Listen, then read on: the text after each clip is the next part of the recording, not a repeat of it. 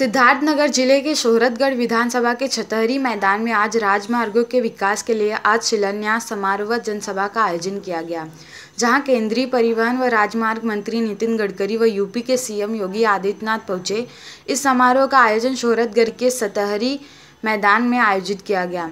लगभग दो बजे योगी आदित्यनाथ के साथ केंद्रीय मंत्री नितिन गडकरी समारोह स्थल पर पहुँचे। इस जनसभा में केंद्रीय मंत्री व योगी आदित्यनाथ ने एन एच 730 के चौड़ीकरण व सुदृढ़ीकरण के लिए 209 करोड़ की परियोजना का शिलान्यास किया। इस धनराशि में इंडो नेपाल सीमा पर स्थित बढ़नी कस्बे से शोरतगढ़ तहसील तक के राजमार्ग को बेहतर बनाया जाएगा, जिसकी कुल दूरी 35 किलोमीटर है। साथ ही ज़िले के अन्य राजमार्गों को भी बेहतर बनाया जाएगा। इस दौरान नितिन गडकरी ने कहा कि हमारा देश तेज़ी से बदल रहा है। किसानों की फ़सल के बेहतर दाम, रोटी, कपड़ा, मकान की हमको चिंता है। हम गरीबों की सेवा करते रहे। जब सबको रोटी, कपड़ा, मकान मिल जाएगा, तभी हमारा काम पूरा होगा। देश की उन्नति के उन्होंने सड़कों को बेहद महत्वपूर्ण बताया और कहा कि सड़कें अच्छी होगी तो अच्छे उद्योग आएँगे। उद्योग से नौजवानों को रोज़गार मिलेगा। सात किलोमीटर मार्ग थे। जिसे आज 14,800 किलोमीटर यानी दुगना कर दिया। हमने नेपाल व बांग्लादेश को जोड़ने वाले रोड बनाए। नदियों में जल मार्ग बना रहे हैं। हरदिया से नेपाल तक जल मार्ग का निर्माण को विकसित कर रहे हैं। अब यूपी की चीनी जलमार्ग से बांग्लादेश जाएगी, जिससे खर्च में बहुत कमी आएगी। इसके बाद यूपी मुख्यमंत्री योगी आदित्यनाथ ने कहा कि समग्र विकास के लिए जन सहभागिता की बहुत आवश्यकता है। केंद्र सरकार ने बीते चार सालों में तेरह मेडिकल कॉलेज दिए, जिसमें से चार मेडिकल कॉलेजों को हमने अति पिछड़े जिलों, सिद्धार्थनगर, बलरामपुर, बहराइच, फतेहपुर में दिए, जिससे इन अति पिछड़े जिलों में स्वास्थ्य सुविधाओं को बेहतर बनाया जा सके।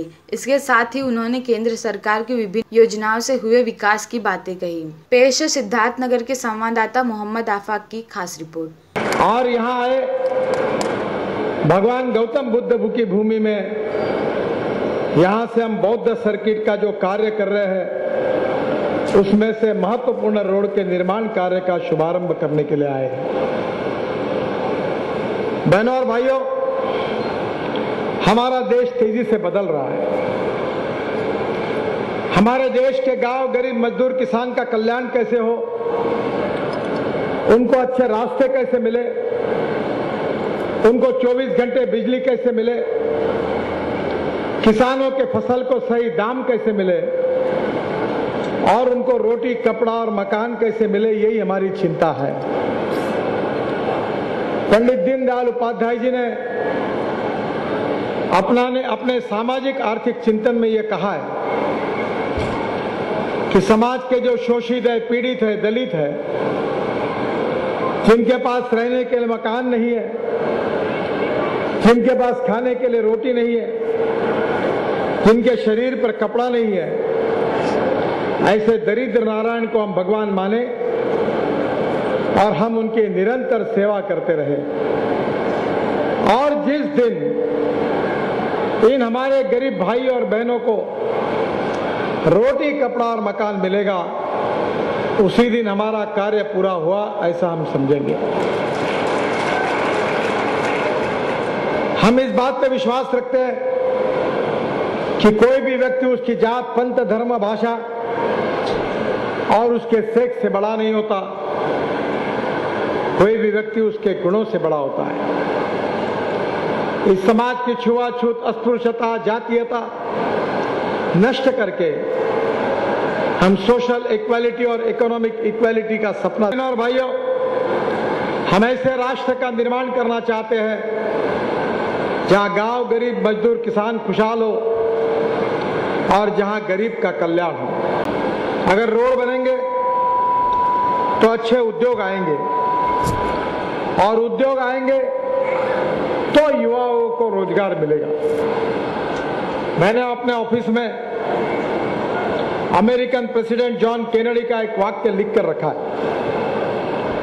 उन्होंने कहा था कि American roads are not good because America is rich, but America is rich because American roads are good. America धनवान है इसके कारण अमेरिका के रास्ते अच्छे नहीं हुए। तो अमेरिका के रास्ते अच्छे हुए इसके कारण अमेरिका धनवान हुई। अगर उत्तर प्रदेश को समृद्ध करना है संपन्न करना है धनवान करना है तो रोड सबसे बड़ी आवश्यकता है। 2014 में 7,643 किलोमीटर राष्ट्रीय महामार्ग था। पर मुझे इस बात की खुशी है कि हमारी सरकार आने के बाद हमने दुगने राष्ट्रीय महामार्ग कर दिए अब 14,800 किलोमीटर है। सात हज़ार एक सौ सत्तावन किलोमीटर एनएच को हमने प्रिंसिपली एक्सेप्ट किया हम नेपाल से लेकर भूटान को अलग अलग देशों को जोड़ने वाले बांग्लादेश को जोड़ने वाले रोड बना रहे हैं। और मेरा विश्वास है कि ये रोड रास्तों के जाने वाले वाहनों के लिए लोगों लोगों नहीं जोड़ेंगे। तो दो राज्यों के बीच जो लोग हैं, उनको भी जोड़ने का काम करेंगे, उनके दिलों को भी जोड़ेंगे। हम गंगा में जलमार्ग बना रहे हैं। बाकी भी नदियों में बना रहे हैं। हम लोग वाराणसी से हल्दिया तक जलमार्ग बना रहे हैं। और इतना ही नहीं तो हल्दिया पोर्ट से नेपाल तक ले जाने के लिए हम अलग अलग प्रकार के जल मार्गों का भी निर्माण करने के लिए सोच रहे हैं। बहनों और भाइयों, इस साल उत्तर प्रदेश की चीनी हम जल मार्ग से बांग्लादेश को एक्सपोर्ट करने की पहल कर रहे हैं। मेरा विश्वास है, जिससे हमारी लॉजिस्टिक कॉस्ट कम होगी। अगर रोड से जाने के लिए दस रुपए खर्चा लगता है रेलवे से जाने के लिए अगर छह रुपए लगता है तो पानी से जाने के लिए केवल एक रुपया लगता है। और अब हम ये जहाज़ भी कोयले से बने हुए मिथेनॉल पर चलाएँगे तो 60 पैसे कीमत आएगी। अगर लॉजिस्टिक कॉस्ट कम होगी तो हमारा एक्सपोर्ट बढ़ेगा, हमारे यहाँ इंडस्ट्री आएगी, और उत्तर प्रदेश के जवान लोगों के हाथों के लिए काम मिलेगा। आज ये जो मार्ग है बहुत महत्वपूर्ण है। कुशीनगर से गोरखपुर गोरखपुर से आनंदनगर आनंदनगर से नौगढ़ नौगढ़ से सोरतगढ़ सोरतगढ़ से बढ़नी बढ़नी से तुलसीपुर, बलरामपुर और श्रावस्ती। ये पूरा हमारा जो बौद्ध परिपथ है, पूरे बौद्ध परिपथ को जोड़ने वाली एक महत्वपूर्ण कड़ी का शुभारंभ। आज यहाँ पर आदरणीय गडकरी जी के कर कमलों से संपन्न हो रहा है। सौरभगढ़ से बढ़ने का जो ये मार्ग है, बौद्ध परिपथ के साथ साथ हमारे मित्र राष्ट्र नेपाल, जिसके माननीय सांसद कृष्णानगर से माननीय सांसद श्री अभिषेक प्रताप शाह स्वयं यहाँ पर उपस्थित हुए हैं। सीधे बढ़नी को कृष्णानगर से जोड़ने का कार्य यह मार्ग देता है। यानी एक साथ बौद्ध परिपथ में राष्ट्रीय और अंतर्राष्ट्रीय स्तर के पर्यटकों के लिए मार्ग उपलब्ध हो रहा है। लेकिन साथ ही साथ अपने मित्र राष्ट्र नेपाल को जोड़ने का भी एक बेहतर साधन दिया जा रहा है। और मैं सही मायने में जो यहाँ पर श्री जगदम्बिका पाल जी ने मांग की कि यह टू लेन नहीं बल्कि फोर लेन होना चाहिए। फोर लेन के रूप में इसे विकसित करने के लिए प्रदेश सरकार अपनी संस्तुति भेजेगी। ज़मीन अधिकरण की इस कार्रवाई को आगे बढ़ाएगी। और मैं विश्वास के साथ कह सकता हूँ कि जब मान्य गडकरी जी जैसा मंत्री हो तो स्वाभाविक रूप से कोई संदेह नहीं होना चाहिए कि आने वाले समय में यह कार्य फोर लेन के रूप में विकसित होगा और भारत, नेपाल के सीमावर्ती क्षेत्रों में पर्यटन के पार संभावनाओं को आगे बढ़ाएगा। पर जो अभियान प्रारंभ हुआ है, आप सब जानते हैं कि आज़ादी के बाद इस देश, प्रदेश में मात्र तेरह मेडिकल कॉलेज बने थे।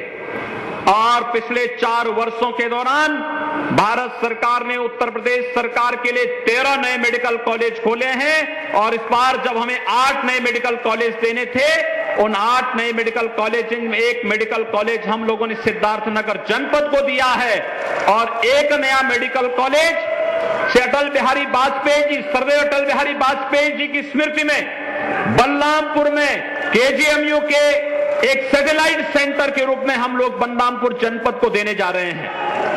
यानी विकास की प्रक्रिया को किस तेज़ी के साथ आगे बढ़ाया जा सकता है? उत्तर प्रदेश के अंदर आठ ऐसे ज़िले हैं जो विकास के पायदान में पीछे थे और उन आठ में से चार में हम नया मेडिकल कॉलेज स्वास्थ्य में और पोषण मिशन को सफलतापूर्वक हम आगे बढ़ा सके, इस दिश दे रहे हैं, जिनमें सिद्धार्थनगर जनपद है, बलरामपुर है बहराइच है और फतेहपुर है। इनमें से तीन मेडिकल कॉलेजेस हम लोग नया देने जा रहे हैं और इस दिश ये सभी कार्य समयबद्ध ढंग से हों। कार्य की मानक की गुणवत्ता को बनाए रखते हुए हों और आम जनमानस को बेहतर सेवाएँ प्रदान करने वाले हों। इस दिश से जनप्रतिनिधियों की सहभागिता, विकास के कार्यों में उनकी रुचि और विकास आम जन की अपेक्षाओं के अनुरूप विकास के कार्यों को समयबद्ध ढंग से पूरा करने की तैयारी जब होगी तो परिणाम जनता के लिए सुखद होंगे।